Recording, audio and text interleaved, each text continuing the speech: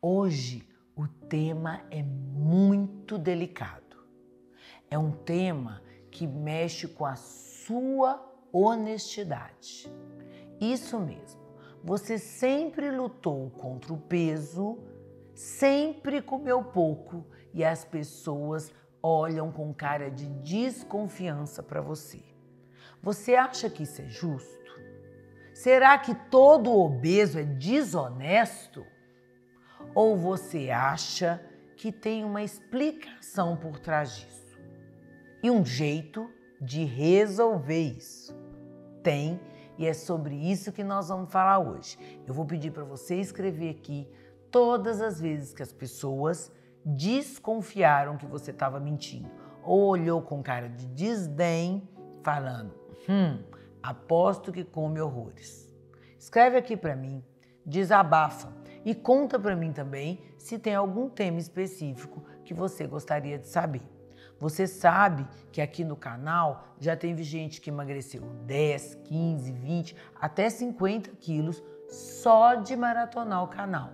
Então esse canal é para você que quer emagrecer de forma sustentada e definitiva. Faça sua inscrição nele e manda esse link para todo mundo que você ama.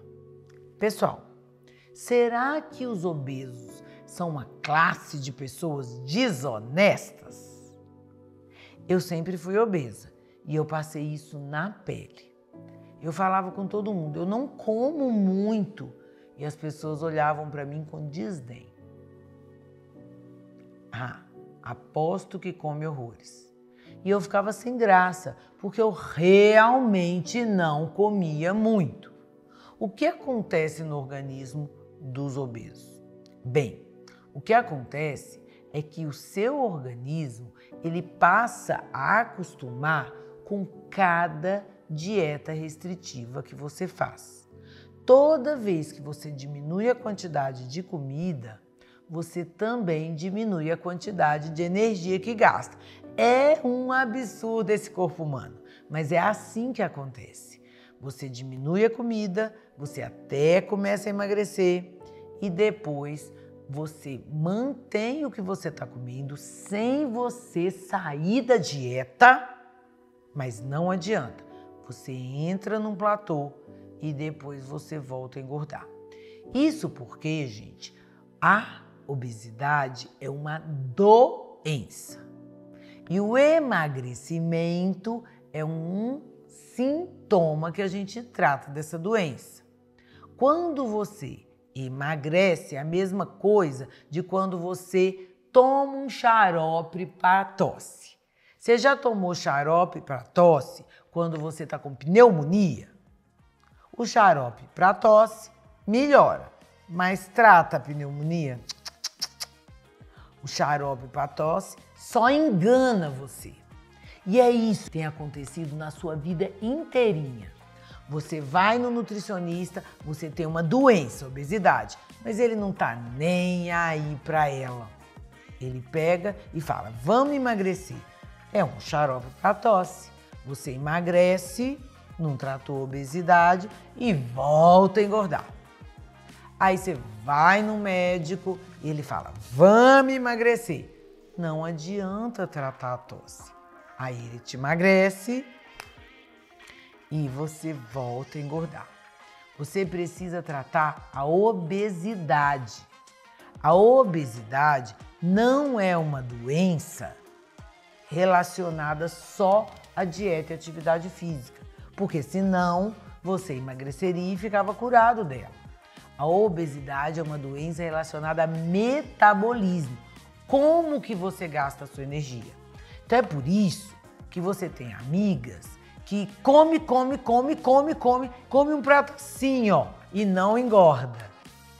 Essas pessoas, elas comem, comem, comem, não engordam, mesmo os pratões, porque elas gastam muita energia. E é isso que a gente tem que fazer nos tratamentos de obesidade: transformar você numa máquina de gastar energia.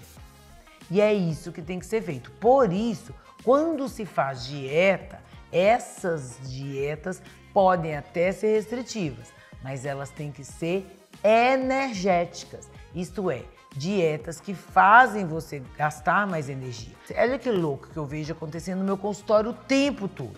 A pessoa, ela não toma café da manhã, ela fala que ela faz jejum intermitente, mas na verdade é jejum todo dia. Ela não tem costume de tomar café da manhã, almoça um pouquinho, toma um café e janta. E ela come um pouquinho o dia inteiro e tá cada dia mais gorda. Aí nós fazemos um esquema para ela, onde ela passa a comer café da manhã, ela passa a comer no almoço variedade energética de alimentos, ela passa a lanchar melhor, ela passa a comer no jantar e ela passa até a ceiar. E aí, mesmo assim, ela perde peso. Não é louco isso? Pois é, isso é que tem que ser feito. Por isso que aqui no canal, se você quiser, nós temos exemplos aí de dieta metabólica, dieta cetogênica, anti-inflamatória, vários tipos de dieta que tem que ser feitos em conjunto para que você gaste energia. Além disso, para gastar energia, nós temos 10 coisas e eu vou falar de forma resumida, porque eu já expliquei isso aqui no canal. A mente se você é estressada, você bloqueia a forma que baixa energia e também tem compulsão. O HIIT são exercícios anaeróbicos que maltratam a sua mitocôndria e fazem ela gastar mais energia. O banho gelado, que aumenta sua perda de energia por calor e tem alguns suplementos que ajudam nisso. Quarto, a musculação, porque o músculo tem mais mitocôndrias e gasta mais energia do que qualquer outro órgão, você tem que crescer o músculo. 5. A dieta metabólica que eu acabei de falar. 6. Um intestino super controlado e desinflamado para que ele não bloqueie seu gasto de energia ou sua queima de gordura. Intestino inflamado não deixa você queimar gordura. 7 sua tireoide tem que estar tá controlada, porque é ela que manda no seu metabolismo do corpo todo. Oitavo, seus hormônios sexuais, a desregulação tanto dos hormônios masculinos quanto femininos no homem e na mulher, engorda e faz você virar geleia.